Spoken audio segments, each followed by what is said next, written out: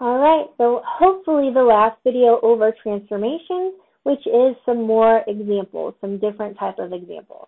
And so this one here gives us a graph, which is not a basic function, and asks us to transform it in the way that it gives us the transformation.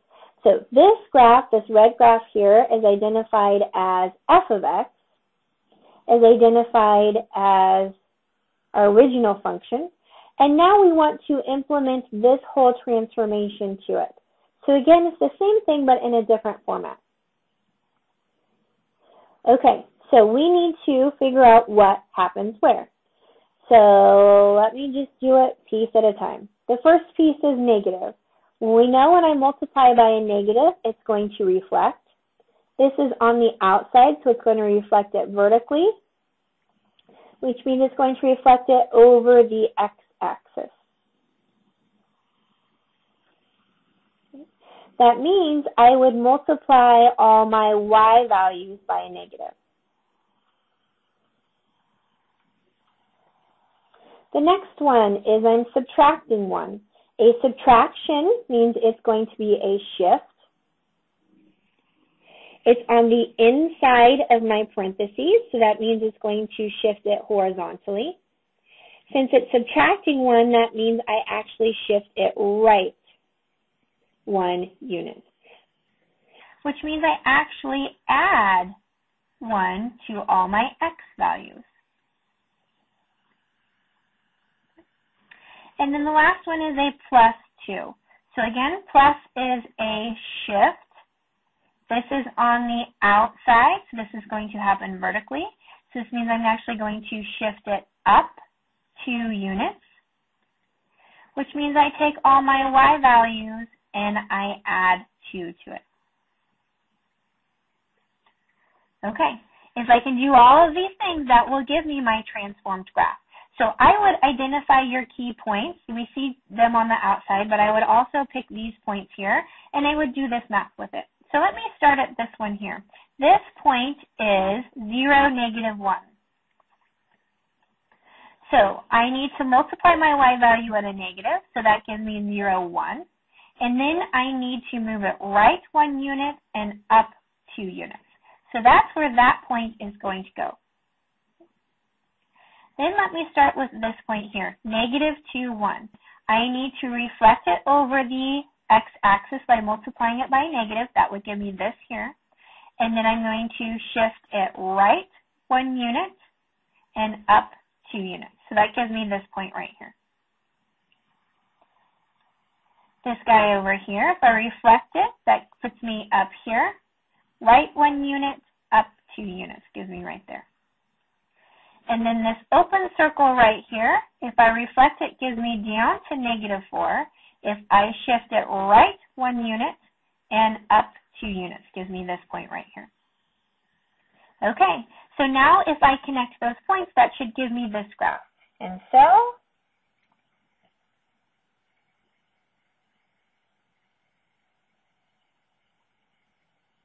give me this one here, and this one on the right actually should be an open circle. And so we should see it reflected and then shifted, and I think that's exactly what I see there. Okay, let's do that again. Same starting graph, but now we're going to change it in a different fashion. So I suggest that you pause the video to see if you can do this one on your own.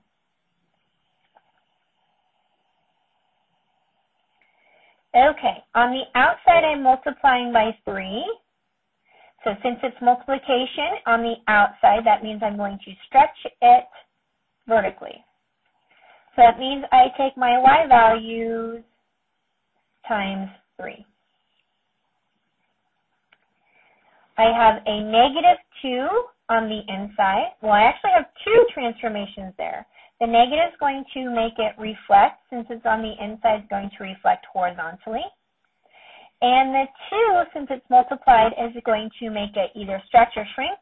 On the inside, it's going to make it shrink horizontally. So both of those put together means I'm going to multiply my x values by a negative 1 half. 1 half because inside is opposite, so the opposite of multiplying by 2 is dividing by 2, or multiplying by 1 half. And the last is subtracting 1 on the outside, so subtraction makes it shift. Outside is going to shift vertically, so it's going to shift down 1 unit. So I take all my y values, and I subtract 1. So let's see if we can get this done. Okay, let me start here. So in this one, it might actually be easier to write out the actual points. So I'm going to do my point 0, negative 1. Here, my x values, so let me do all of my x values in yellow. My x values are going to multiply by a negative 1 half. So in this case, my x value doesn't change. And then my y values I'll do in blue. So I multiply by 3 and then I subtract 1. So my y value is negative 1 times 3 is negative 3 minus 1 means negative 4. And so this guy here actually is just going to go right here. Okay. Let me do this guy here. So that point was negative 2, 1. My x values, I multiply by negative 1 half. So that means my x values are going to go to a positive 1. My y values, I multiply by a 3, and then I subtract 1. So 1 times 3 is 3. Subtracting 1 gives me 2. So this one is going to go to 1, 2. Okay, next, this guy over here is negative 4, negative 2. My x values get multiplied by negative 2, so that means it becomes positive 2. Okay, and then my y value. Negative 2 times 3 gives me negative 6, minus 1 gives me negative 7. So this one goes to 2, negative 7, a little bit below my chart here. Should have made a bigger chart. We'll put it down there. And that was my blue point, so let me call him blue. And I forgot my purple point at negative 4. There we go. Okay, and the last is my green circle. So that is at 2, 4.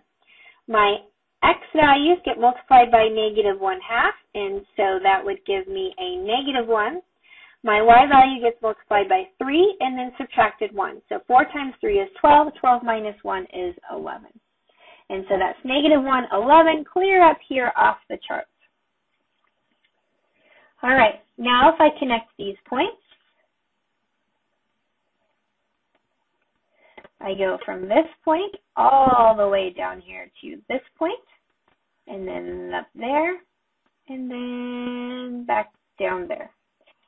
So we can see that this is shrunk horizontally. We can see that this is reflected over the y-axis we can see that this is stretched horizontally and probably not that we can see it, but it actually should be shifted down one unit.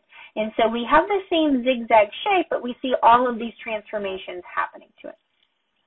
And so you can see how these things can get transformed really fast. And so if you need to, write out the specific ordered pairs and just focus on the x values at once and then the y values at once, just like I did here. Okay, I have one more type of example, and this is kind of working it in a backwards format. So, so far we've been giving the function and we've been drawing the graph. Well, now it gives you the graph and it asks you to come up with your own function. And so there's two examples here, and I suggest that if you can come up with the functions for each of these examples individually. Okay, the key to this is to first figure out what basic graph we're going to start off with. So if I look at A and I compare that to all of my functions, I need to figure out which one does this resemble the closest.